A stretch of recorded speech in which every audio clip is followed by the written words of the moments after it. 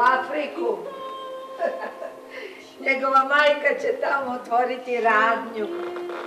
Sex shop. Sex shop, ko je to rekao?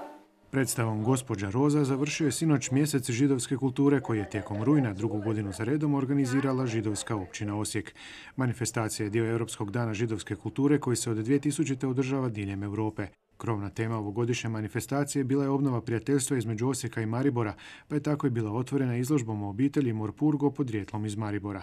Osjećanima je manifestacija među ostalim donijela i koncerte, predavanja, vođene ture, knjižene večeri, projekcije filmova, te za sam kraj i predstavu.